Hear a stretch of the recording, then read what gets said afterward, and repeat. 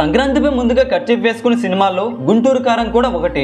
అప్పుడెప్పుడు ఏడాదిన్నర క్రితం మొదలైన ప్రాజెక్ట్ షూటింగ్ దశలోనే ఉండిపోయింది. ఆది నుంచి ఈ సినిమాకు ఎదురు దెబ్బలే తగులుతూ వచ్చాయి. రెండు షెడ్యూల్ పూర్తయిన తర్వాత ఏకంగా కథనే మార్చేశారంటూ వార్తలైతే బయటికి రావడంతో అభిమానులు షాక్కి గురయ్యారని చెప్పాలి. ఆ తర్వాత మహేష్ ఫ్యామిలీలో విషాదం వెకేషన్స్ ఇలా చూస్తుండగానే నెలలు గడిచిపోయాయి. ఎట్టకేలకు అన్ని సెట్ అయిన అనిపించే విధంగా ఇప్పుడు షూటింగ్ జరుపుకుంటుంది. మరొక వైపు త్రివిక్రమ్ చకచక తన పనిని పూర్తి చేయాలని సిద్ధమయ్యారు. తాజాగా మహేష్ కూడా ఒక భారీ షెడ్యూల్లో పాల్గొన్నారు. ఇక ఇదిలా ఉంటే ఈ సినిమాకు సంబంధించిన ఒక వార్త నెట్టింట తెగ వైరల్ అయిపోతుంది.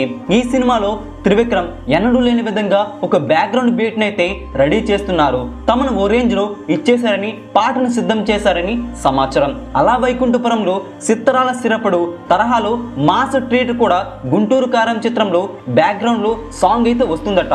మహేష్కి కూడా ఆ బ్యాక్గ్రౌండ్ మ్యూజిక్ అయితే తెగ నచ్చేసింది అంటున్నారు ఇక మహేష్ బర్త్డేకి రావాల్సిన ఫస్ట్ సింగిల్ను సెప్టెంబర్ మంత్లో విడుదలకైతే ప్లాన్ చేస్తున్నారు. ఎట్టకేలకు మొదటి పాట కూడా వచ్చేస్తుంది. ఈ సినిమాకి ఇంకా ఎనభై రోజుల షూటింగ్ అయితే బాకీ ఉందని సమాచారం. ఆదివారం నుంచి నాన్ స్టాప్గా షూటింగ్ అయితే జరపాలని ఆపై పోస్ట్ ప్రొడక్షన్ పనులు ప్రమోషన్స్ ఇలా పక్కగా ప్లాన్ చేసుకొని ఎట్టి పరిస్థితుల్లో కూడా సంక్రాంతికి వచ్చేస్తామంటున్నారు బాబు. శ్రీలీల మీనాక్షి చౌదరులు హీరోయిన్గా నటిస్తున్నారు. అయితే ఈ సినిమాలోని మొదటి పాట గుంటూరు కారం చిత్రం మొదటి పాట మాత్రం ఊరమాస్గా ఉంటుందని సమాచారం. సూపర్ స్టార్ మహేష్ బాబు కూడా ఎన్నడూ లేనంత విధంగా శ్రీలీల బామతో డాన్సులు అయితే ఇరగి తీశారట ఈ పాట ఓ రేంజ్లో ఆకట్టుకోవడం ఖాయమని రికార్డులు బద్దలైపోతాయని చెబుతున్నారు. మరి త్వరలోనే రాబోతున్న ఈ పాట కోసం ఎంతమంది వెయిట్ చేస్తున్నారో కింద కామెంట్ చేసేయండి.